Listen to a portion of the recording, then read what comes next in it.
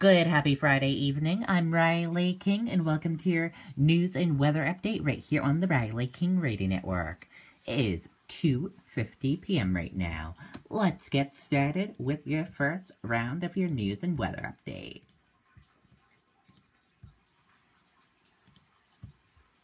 First up, ex-police officer accused of stealing truck from Manchester dealer arrested. Let's take a listen to the video from WMUR News 9.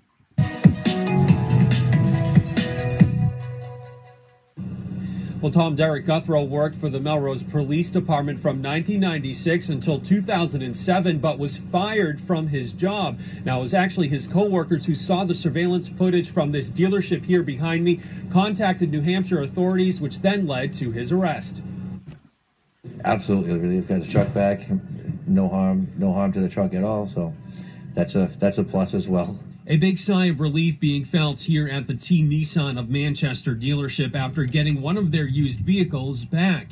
It was on Monday when police say this man, Derek Guthrow of Nashua, walked into the dealership to check out a 2011 Chevy Silverado. Guthrow, who was posing under the name of Adam Foley, they say, then asked to take the truck to show his wife, but he never came back. The salesman asked for an ID, but Guthrow said he did not have it, instead, telling the salesman he was a state trooper, showing a badge and leaving a false number, according to police. The dealership then turned to the public for help by releasing this surveillance video. Everybody was giving us leads, giving us some information, um, and eventually led to the guy's arrest. So. Authorities say Guthrow is a former Melrose, Massachusetts police officer who worked there until 2007. Former co-workers saw the dealership's surveillance video and contacted police who were able to track the 46-year-old to this home on Concord Street in Nashua. When WMUR showed up for comment, we were told Guthrow was not home. The truck was discovered in the parking lot of this Margarita's restaurant located just down the street. Guberino says although the dealership is happy to have the truck back, they're glad police say they've solved the crime. No worries now with him being out there, so we were uh, that, that was our biggest concern, getting him off the streets because you know impersonating a cop is a is a big is a big issue. And now Guthrow is out on $5,000 personal recognizance. He is expected to be due back in court on January 20th. Live here in Manchester, I'm Tim Callery, WMUR News 9. Okay, and there you go on that report. Canterbury Stewart offers reward for arrest of man in attempted robbery. Let's take a listen to this video from WMUR News 9 makes us cheer. If yours is the go out oh, and have fun. But first make sure your research is done. Know before you fly. Fly below 400 feet and always keep the drum within sight. Stay away from airports and emergency scenes. And always yield to manned aircraft like doubt. Know before you fly and enjoy the friendly sky.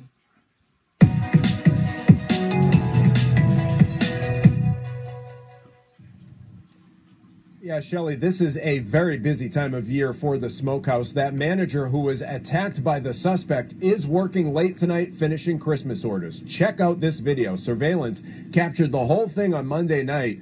The store says the suspect wearing a ski mask forced his way in with a crowbar. He starts filling a ski bag with two ducks and a ham steak and is then confronted by the manager. The suspect then punches him. They get into a shoving match, and other employees jump in. As the suspect was trying to take off, look at this workers ripped his shirt off, and then he falls down as he runs away. The manager says adrenaline kicked in. He wanted to protect this family run business. My daughter's yelling to let him go. She wanted him out of the building as quick as possible, and I didn't.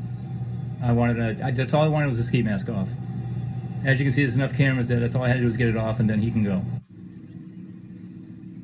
Well, tonight the store is offering a $500 reward for information that leads to an arrest and conviction. Anyone with information is asked to call police. Reporting live in Canterbury, Mike Cronin, WMUR News 9. Okay, and there you go on that report. Dover police investigating possible 12th overdose of 2016 after death of 30-year-old man. Dover officials are investigating the death of a 30 year old man who was found unresponsive at his home on Wednesday. Dover Police and Dover Fire Rescue responded to the residence at 71 Portland Avenue after John Very of Dover was found unresponsive. Very was pronounced dead at the scene. While the cause and manner of Very's death will be determined by the office and chief medical examiner, at this time it appears to be an overdose, according to police. Police suspect that this is the 12th overdose related death in Dover in 2016, although toxicology tests are still pending in some cases. All are expected to be opiate related. The Dover Police Department has responded to 59 non fatal drug overdose in 2016. This case is being investigated by the Dover Police Department's Special Investigation Bureau. Anyone with information about the incident is asked to call Dover Police Department at 603 742 4646. Anonymous tips may be called into the Dover Crime Line at 603 749 6000. The Dover Crime Line can also be contacted via www.dovercrimeline.org. Confusion grows over Trump's nuclear plan after possible hint of arms race. Let's take a listen to the video from ABC News.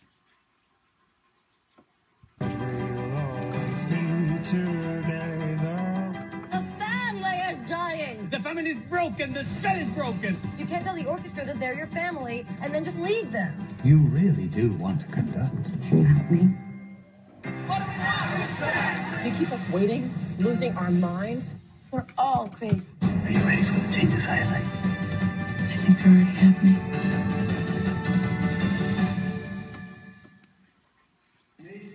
Could this single tweet from Donald Trump mark a major break from U.S. policy for nearly 40 years? A tweet that read in part, the U.S. must greatly strengthen and expand its nuclear capability.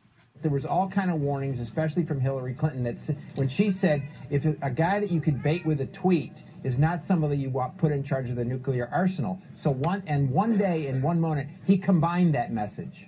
The timing of the tweet also triggering concerns, posted just hours after Russian President Vladimir Putin said we need to strengthen the military potential of strategic nuclear forces.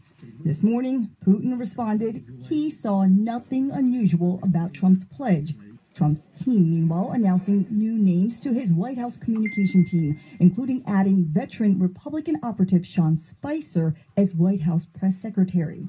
Also in the news, Ivanka Trump expected to play a key role in her father's administration. Some guy went up to her and started uh, giving her a hard time.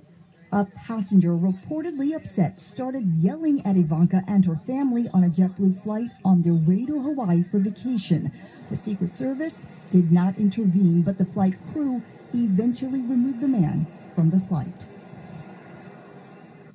And as for Trump's tweet here, a response today from the newly announced press secretary Sean Spicer, who told media outlets that this was a response to a lot of countries, Russia, China, and others, that if they increase their nuclear capability, America will act. Elizabeth Herr, ABC News, New York. Okay, and there you go on that report.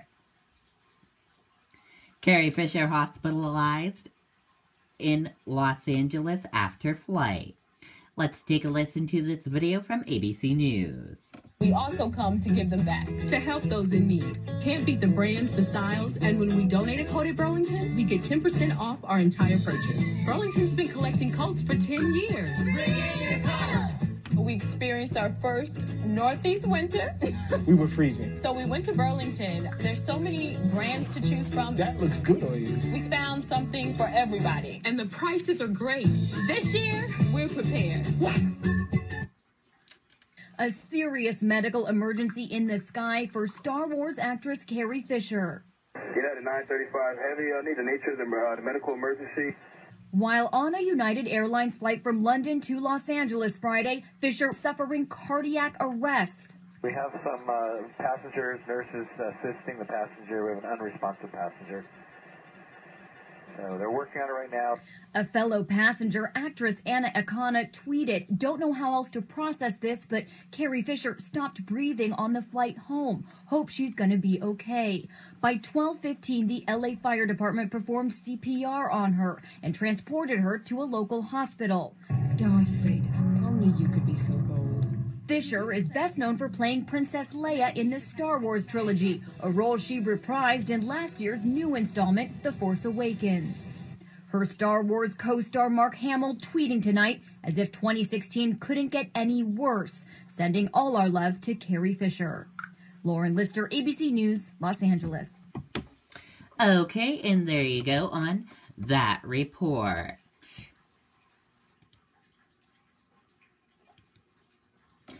Stocks close flat as Dow fails to reach 20,000 ahead of Christmas. U.S. equities closed mostly flat on Friday ahead of the Christmas holiday as the Dow Jones Industrial Average failed again to reach the physically important level of 20,000.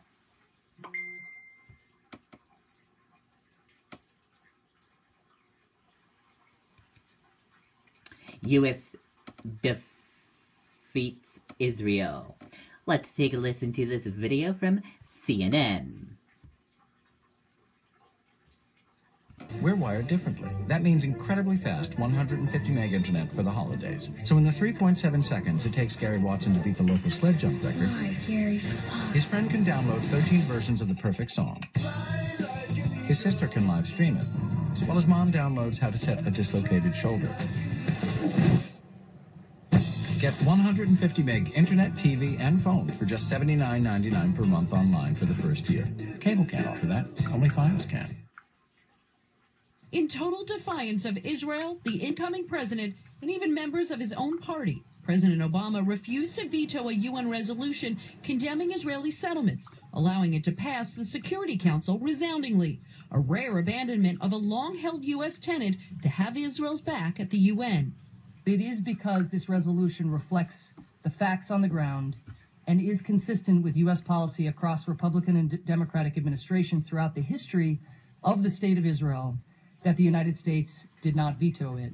President Obama has long held the settlements were an obstacle to peace, a huge source of conflict with Israeli Prime Minister Benjamin Netanyahu. Israel's UN ambassador said in a statement he had expected his country's, quote, greatest ally to act in accordance with the values that we share, and that they would have vetoed this disgraceful resolution. The vote brings to a head a standoff between the current and future U.S. presidents over Mideast peace and Israel's representative at the UN said he hopes the Trump administration will be more sympathetic.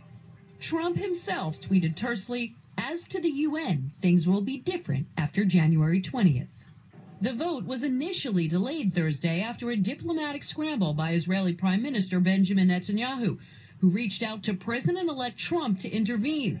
When Trump sent out a statement calling for a U.S. veto, Egyptian President Sisi, whose country sponsored the resolution, put the vote on hold. And it wasn't President Obama he called to discuss the future of Mideast peace, but the president elect. Behind the scenes, U.S. officials are grumbling that Trump's interference runs afoul of an unspoken custom that there can only be one commander in chief at a time. But publicly, the State Department appeared unfazed nobody here felt boxed in by uh, a tweet from the president elect, and he's perfectly entitled to express his views on these kinds of things. It's hard to know to what extent Trump's involvement affected the outcome, but his spokesman made clear this president elect won't be staying on the sidelines until he takes office next month. President Obama and his team have been unbelievably gracious to the president elect and his team, but at the end of the day, he's not someone that's going to sit back and wait. Okay, and there you go on that report. And now time for your weather. Your weather for tonight, partly cloudy early followed by cloudy skies overnight, low 29 degrees, winds light and variable. And that does it for your news and weather update. It is 3.59 right now. Me, sorry about that. 2.59 right now. It's almost 3 p.m. And your 3 p.m. radio program is coming up next.